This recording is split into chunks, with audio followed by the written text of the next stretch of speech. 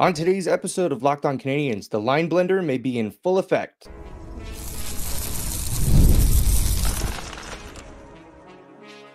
Your Locked On Canadiens, your daily podcast on the Montreal Canadiens, part of the Locked On Podcast Network.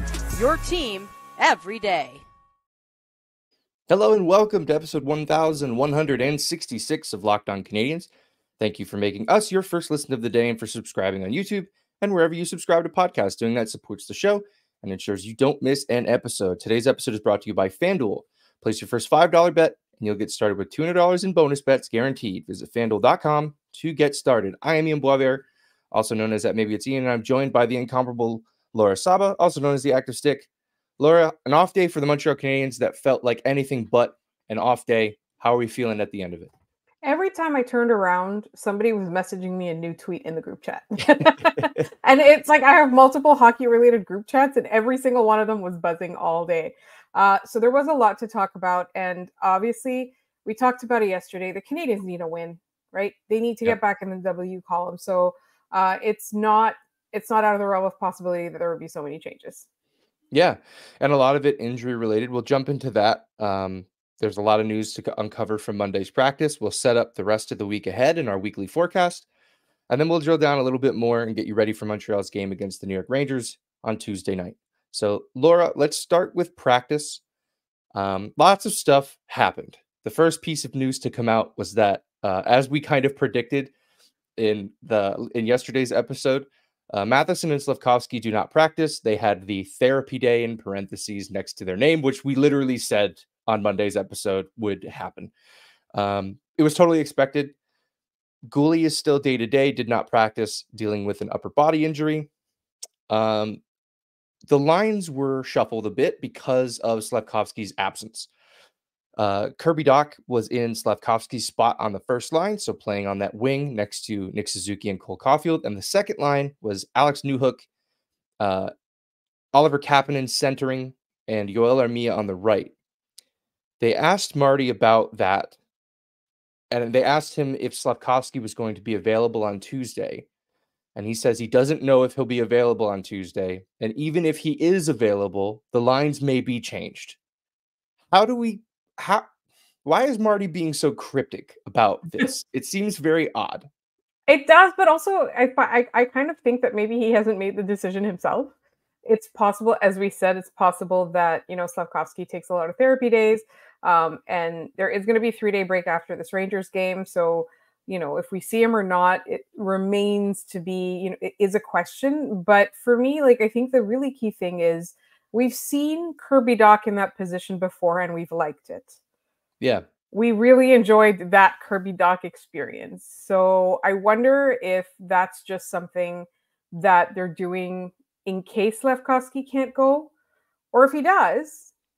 I wonder if it's just, you know, just kind of try to trying to keep people guessing because the problem for me is not Kirby Dach up there. The problem is what do you do with Slafkovsky in case he's ready to go? Do you play him with Kapanen? You know, that's that's the big question for me. Will they have that same chemistry? Like he really found he really hit a stride playing either alongside Kirby Dach or alongside Nick Suzuki. So now you're introducing someone else into the mix. So it's a good test for us yeah. to see, you know, what Slafkovsky's made of. But it also doesn't seem too fair to remove him off the top line because he hasn't done anything that warrants that, uh, except for get maybe injured. Yeah, and I think all of that is is well taken. I think Marty likes to use that spot on the wing to sometimes get guys going. He did it with Josh Anderson a bunch. It was you're going to play with the two most talented forwards on the team. We're going to get you going. I feel like that might be what's happening here if if it does come to pass that Kirby Dach is on that first line against the Rangers on Tuesday. I don't know that it would necessarily be permanent. And also, you know, there are going to be in you know, two high profile forwards joining the Canadiens within the next calendar year. One of them being Patty Laine, who is going to join us hopefully around Christmas time. We did get an update on him. I'll get into that in a moment. And hopefully Ivan Demidov is a Montreal Canadien next year.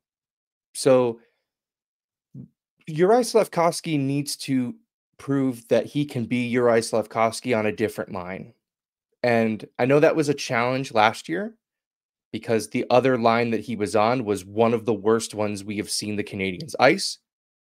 But now I think he's got his mojo a little bit. I really like Oliver Kapanen a lot. Um, I think Alex Newhook has been better than his numbers have indicated. Um, so I'm I'm totally fine with these sort of little experiments, especially when the team is in a bit of a losing streak, right? You're never going to change the lines when they're winning. Never. Coaches don't do that. Hey, you won? Great. You stay in that exact same spot tomorrow night. They're losing. They haven't won in over a week. And if they lose to the Rangers on Tuesday, their their first chance to get a win will have been 2 weeks after their last one. So they need to start figuring something out. This is the time to be tinkering. You know, I think that it's totally fine to to see Juraj Slafkovsky on a different line, Cole Caufield on a different line to try to spread that offense out. As hot as Cole Caufield's been since the season started. So I'm not I'm not overly concerned about the line blender being broken out. And again, im- Marty is being very cheeky and very funny because we might go, go into Tuesday and Juraj Slafkovsky's playing and none of the lines are changed. So it, all of this could be for nothing, which is entirely possible, if not the most likely outcome. I'm excited to see it tomorrow. Actually, I'm excited for our episode tomorrow night, so we can revisit this conversation yeah. um, and see and see if Marty is is he's doing it personally to get back at us. I think um, he's taunting us personally. I just think it's interesting because it could work. You never know. Like that that there there could be a level of chemistry there between Kapanen and Slafkovsky that is extremely exciting and enticing. I don't think necessarily he's going to move Caufield because he's one of the only things that's working. Yeah, I mean so, he's yeah. yeah. he's the second at least after Saturday's game he was the second yeah. leading goal scorer in the NHL.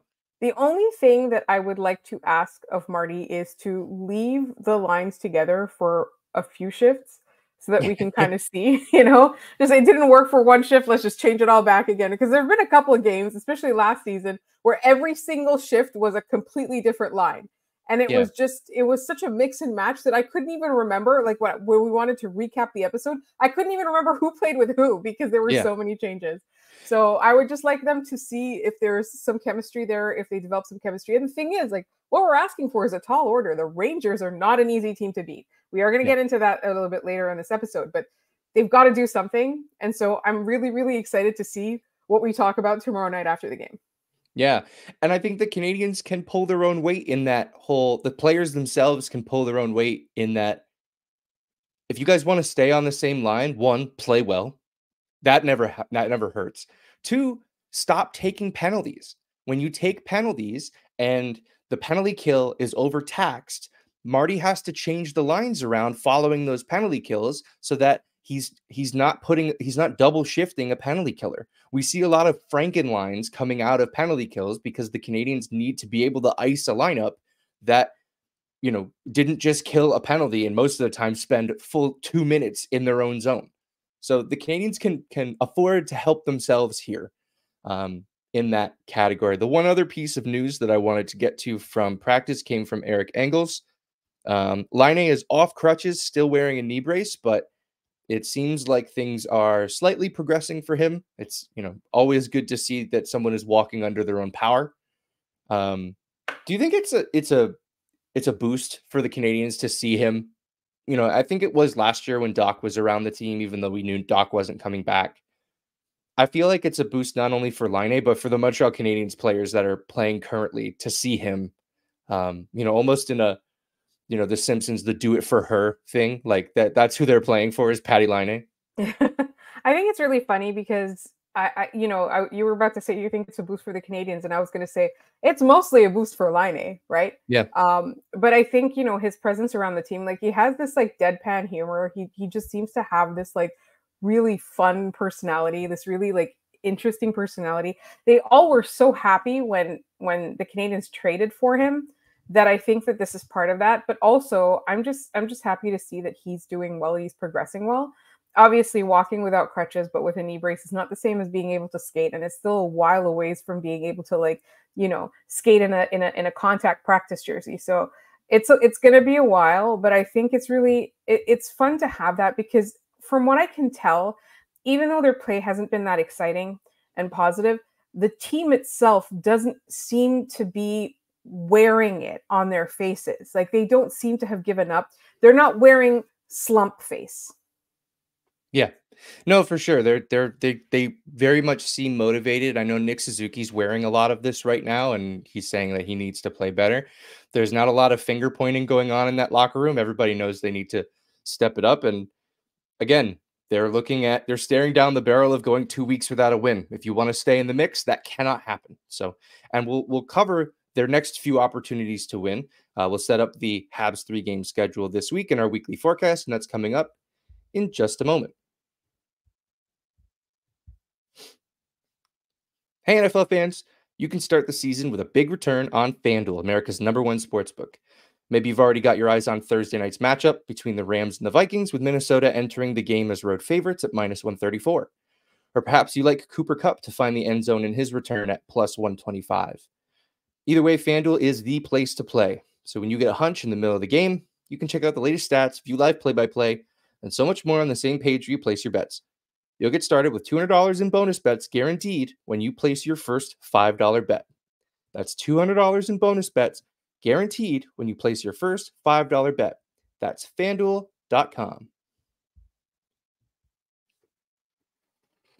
All right, we're back, Laura. We are going to set up the week ahead in our weekly forecast. Um, just as a reminder for those who might not have tuned in in the past, this is our weekly segment on Tuesdays episodes where we will break down the matchups, um, sort of high level, provide our keys to the week, and give our expectations for the week ahead for the Montreal Canadiens. So three games on the schedule, very very oddly scheduled as the NHL loves to do. Uh, Tuesday at home against the New York Rangers, and they don't play again until Saturday night at home against the St. Louis Blues, and then they travel to Philadelphia for a back-to-back against the Flyers. Uh, let's start with that game on Tuesday against the New York Rangers. Uh, Rangers last season, like you said, very very good. 114 points, President's Trophy. I believe that was a franchise record in points for the New York Rangers. So they are literally coming off of the greatest season in team history. Not a big deal. Uh, their current record as we head into that game is 4 0 1. I believe their only loss came in overtime to the Utah Hockey Club, who have, for some reason, just had the greatest vibe since the season started and have beaten a lot of teams that maybe people wouldn't have predicted. Uh, Montreal was 1 2 and 0 against the Rangers last season. They had a shootout win at the Bell Center and two really, really ugly losses at Madison Square Garden. Um, what do you think is going to be the key in this matchup against the New York Rangers? We'll cover them a little bit more in depth in our final segment, but what are you what are you watching for on Tuesday night? I'm watching for discipline because I think it's too much to ask that the entire defense be revamped from one game to another. I would hope that they have a better effort on on that front, but I think that's that's that's a thing that it's going to take longer to work out. It's not just a personnel thing. It's it's it's like the whole organization as a whole has to rethink all of that, right? From from like whoever's like bringing their skates, like t- taping their skates and sharpening, the, sorry, taping their sticks and sharpening their skates to like you know Jeff Gorton and Kent Hughes and, and, and Geoff Molson. Like everybody needs to worry about this defense. Uh, but when it comes to like the individual play themselves, like something the players can control is their discipline. Um, you know, and we did get a couple of comments and questions about, you know, how hard is it to be disciplined? And I think when you are always coming from behind, playing from behind, you always run the risk of playing recklessly because you have to do yeah. everything you can to get possession of the puck back, whether it's hits and that leads to, you know, uh, potentially something that's questionable or just trying to just trying to get in people's way, right? St- like a stick to the face, a trip, all of that kind of stuff, hooking, all that kind of stuff comes naturally when you are playing from behind. But I think that there's a lot of cases where we're seeing in the last few days or the last few games, I should say, where it's completely unnecessary. Like you didn't save a goal from happening. It was just lazy, or you know, you're playing tired. Just you have to keep it tighter on that front. So I, I obviously overall we need better defense on this team, but I think discipline is going to be really key against a team that is just so much better than you. There's really not that, you know. Yeah. Not, there's yeah. not that much to say. yeah, the Rangers last season went very deep into the playoffs and were knocked out by the eventual cup champions you know so there's yeah. a that's a it's a very very good team coming into the bell center on tuesday i echo your sentiment sentiment on discipline the rangers have the fourth best power play in the league 31% montreal's penalty kill is very good over 90% but that is a an elite power play coming into montreal so that is worrying if the canadiens continue their parade to the penalty box. I don't think that they will have the same luck that they had against the Islanders on Saturday night. So that's something to watch there. Um, getting them to the, another key in our second segment on the Rangers, our third segment overall. Uh, but let's head to uh, the matchup on Saturday night against the St. Louis Blues. Recap that last season really quick. Last season, the Blues had 92 points. Montreal went 0 2 against the Blues last year. The Canadiens did not win against St. Louis. Uh, two very, very ugly losses uh, a 6 3 loss and a 7 2 loss. So very bad. That, that cannot happen. Um, the current the Blues are currently 4 2 and 0. Um, what, what a, we don't see these Western Conference teams often. Um, I think it's only Montreal's second game against a Western Conference opponent so far. What what are you thinking heading into that matchup against the Blues? I think for me this time around, it's don't get injured um, because I've been trying to kind of get a read on the Blues for this year, obviously in preparation for this week. Uh, they seem to be a little bit more physical than the Canadiens generally have to deal with. Uh, so I think it, it's just it's important for me that they don't get hurt. Like I don't like the, the, the Montreal Canadiens and the St. Louis Blues don't really have a recent history of shenanigans. It's yeah. just exactly like you said. Either it is the Canadiens running them out of the rink or vice versa. So I would just like to see like less injuries. I don't think I don't think that there's, you know, just play safe. Yeah. I I think that the key to them winning against the Blues on Saturday will be winning the game at 5 on 5. The Blues special teams are not very good.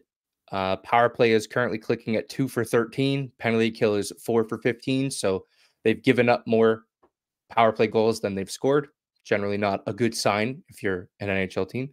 Um, I think the special teams for the Canadiens may just take care of themselves on Saturday, but they've been really, really bad at five on five. They just have not been good enough. Um, the, the, top line gets caved in a lot of the time. Most lines get, end up getting caved in. For some reason, the only line that can play up in the offensive zone seems to be that third line of Evans, Gallagher, and Anderson. yeah. Um, so and they do need to figure that me. out because like, yeah, that's something that was a strength for them last year. Yeah, yeah. Last year it was the opposite. The, the special teams let them down, and five on five was sort of carrying them most nights.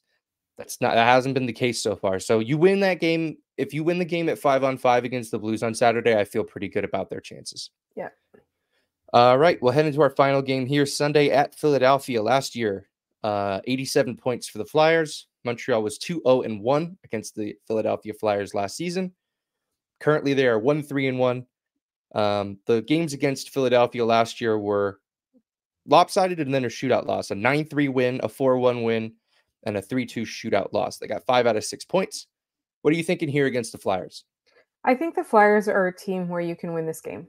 This is another one of those winnable games they can't afford to lose, even though they will be on the second night of a back to back with travel. I don't think that's an excuse. You saw what the LA Kings did after getting the crap kicked out of them twice last week. And yep. you know, in, in this division, and then coming in on the second night of a back to back with, you know, they haven't been home yet uh, this season, and they were able to win that game.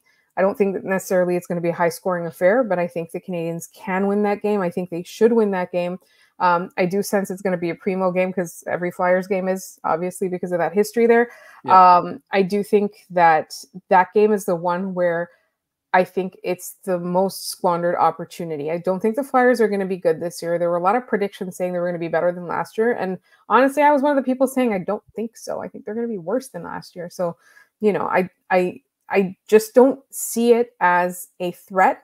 Um, I think the Canadiens can they can win it. They just they need to not play like they did in the last three games that we've seen, particularly yeah. how they played against Pittsburgh. Yep, they can't they can't lose this one. They have they you know if the Flyers come out there with a great effort and they just beat you, tip your cap. But if the Canadiens throw this one away, it's going to be another missed opportunity for them to quote stay in the mix. Couple keys for me. Uh, goaltending for the Flyers. If you get to their goalies early, I think you'll be in good shape. Both Samuel Ersson and Ivan Fedotov are sub 900 goaltenders this way into the season, so not great there. And of course, contain Matvey Michkov. Uh, four four games in, he's got four points already uh, try to not let him run the show against the Montreal Canadiens for, you know, not only the reasons within the game, but the narrative reasons are all, as well will be very difficult to overcome should the Canadiens, you know, allow him to put up three points. Taking the whole week in as a combined three game schedule, Um, I think it's I think we see Caufield continue his hot start. Last season against the Rangers, Blues, and Flyers combined, um, he had uh, was it 20 games? No, it couldn't have been. He had he had uh 13 goals against those teams. So he's very, very good against these teams. I there's a lot of high scoring matchups here. He's he looks to be one of the key parts of those matchups. So expect Caufield to keep rolling, and hopefully the Canadiens continue to roll with him. Um, all right, we'll head into our final segment. We'll drill down a little bit more on that New York Rangers matchup on Tuesday night, and we'll get into all that in just a moment.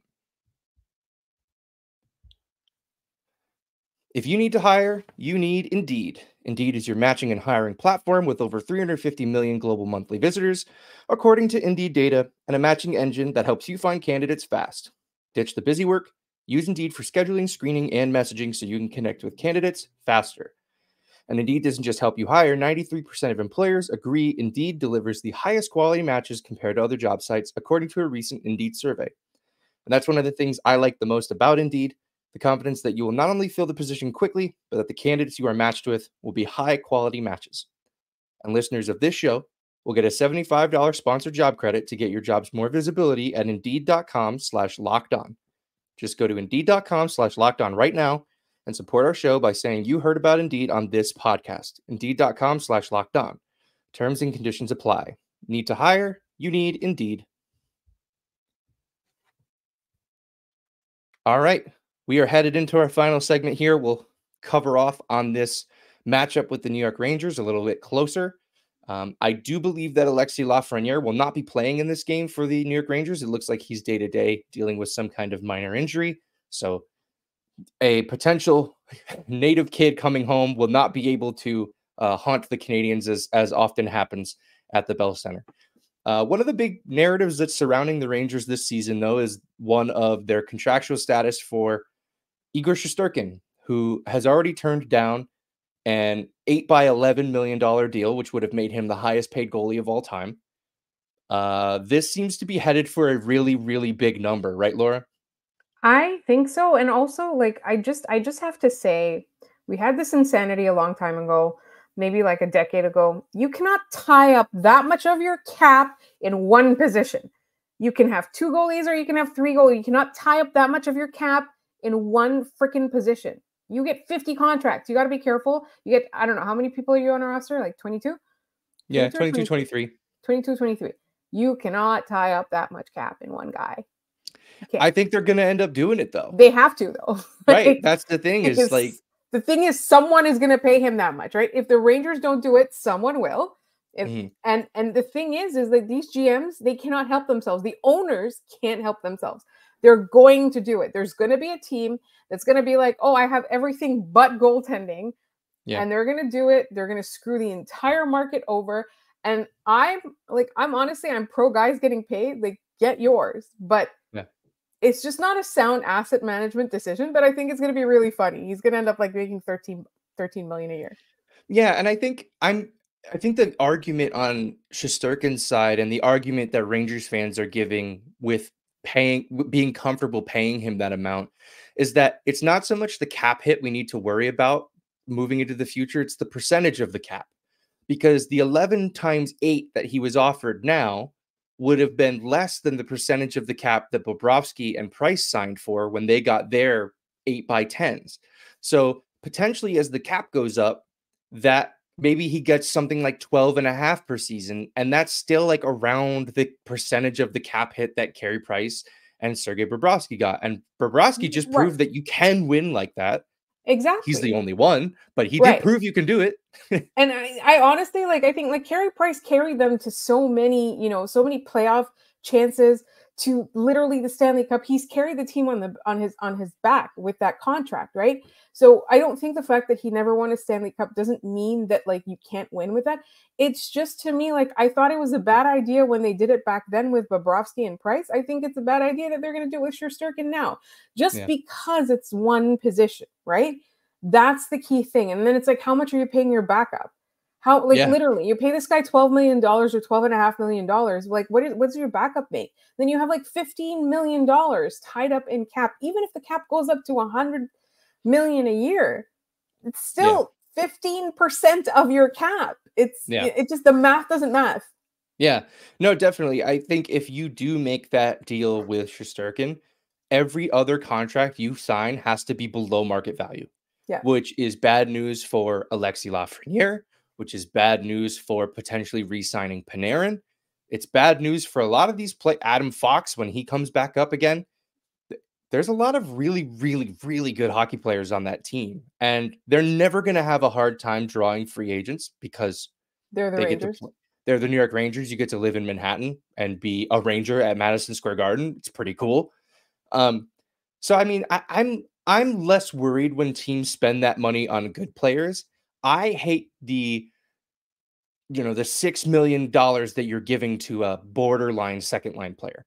Those are the ones that I think kill you. Is you know uh Karl Alzner's those contracts kill you. The Brandon Prust those contracts kill you because they're just bloated. They're they're not very important part parts of a team. I like to you call know. them Bergevin specials. Yes, it was his favorite thing to just get and then he- hardball actually good players. it, it made no sense. He's like, I can't pay you, Philip, to know what you're worth because I have to throw all of this money at Mike Hoffman. Like it doesn't make any sense. Anyway, we this we are not going to make this about Marc Bergevin. This is not fair to me. I don't. He sucks. That's fine. But uh, we're not. I don't want to talk about him anymore. Um, again, we'll reiterate with this matchup with the Rangers. Their power play is very good. Um, they, Montreal is not going to be able to afford to ha- take the amount of penalties that they did and the amount of like rapid succession that they did against the Islanders. Yeah. Um, you know, it's just it's not a recipe for success against these Rangers. They will lose if they take that many penalties. Um, anything else we should be looking out for in that game? I think honestly, like after the the last few games that they've had, I just want to see just tighter play. Just just you know, tight. Yeah. just- just, you know, I'm Immature sounding like effort. like yeah. You know, Nick Suzuki of after the uh, the the LA game said it was an immature effort. Let's let's see a big boy grown up effort. That would Yes. be really nice. Yes. Uh, Um, all I of them also, need to be grown ups. yeah, I'm also kind of looking for Lane Hutson to get back to Lane Hutson things. Didn't see a ton of it against the Islanders. They did a very good job keeping him to the outside and not really letting him go to work. Now you I'd get like to to see if he adjusts or not. Yeah, exactly. The teams have already adjusted to him. I know the Penguins came in and said that they had a game plan for a 20 year old defenseman, which is Like- wild. Hey man, they- like it's his like well, that was his like fifth, sixth game, Yeah, yeah. sixth game, and they're Yeah, game planning crazy. for him. Yeah. And now it's up to him and the Canadians coaching staff to adjust and Yeah. put him in a situation where he can uh, get back to doing the things he was doing. So and that I'm, answers other questions for us. yeah, absolutely. It answers a bunch of questions. Um, you know, the, the Canadiens defense as a whole is still very concerning, but you know, we will see if that improves. All right, you want to hit up some trivia here? I was on mute. I was so excited that I muted myself accidentally. um, yes, let's do trivia. I've already All right. forgotten the answer to yesterday's question. yeah, I'll give you I'll give you the question again. And we did have somebody in our comments uh, give it to us. So correctly. In the 23 24 season, the Montreal Canadiens were perfect against six teams, meaning they took all available points from those season matchups. Name the teams, and I will give it to Christopher Colomb 8238 on YouTube, who named all six teams correctly. Uh, Anaheim, they went 2 and 0. Columbus, they went 3 and 0, the only team that they beat three times and didn't lose. Chicago, 2 and 0. Colorado, 2 and 0, which is the most surprising to me. Seattle 2 0 and Winnipeg 2 0, which is also pretty surprising because Winnipeg was a decent hockey team last year. So, not a ton of those sweeps. Hopefully, we see maybe some more, but uh, definitely some surprises in there. Absolutely. I, I, I really like that question though. It was a fun one. With these recaps, I've been just like, I spend too much time on hockey reference. So, that's where you get an answer like this. um, all right, we'll go back to guessing a guy for this one. It's a Canadian and Ranger.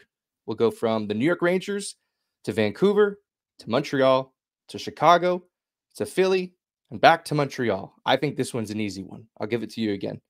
New York Rangers, Vancouver, Montreal, Chicago, Philadelphia, and back to Montreal. If you know it, put it in the comments. We will pin the first person to get it right. And good luck. Send in questions if you got them. We've gotten a few. I haven't had the time to look through them yet, but you may see your question show up on the episode. Um, but this episode is all done. We're headed out of here. Thanks so much for making us your first listen of the day. For your second listen, go find Locked On Fantasy Hockey. Become a fantasy hockey expert and get the edge over your league mates with daily tips from Steel and Flip. Find Locked On Fantasy Hockey on YouTube or wherever you listen to podcasts. As a reminder, we are free and available everywhere you get your podcasts, including YouTube. So be sure to subscribe to Locked On Canadiens so you don't miss an episode. You can follow the show on Twitter at LO underscore Canadiens.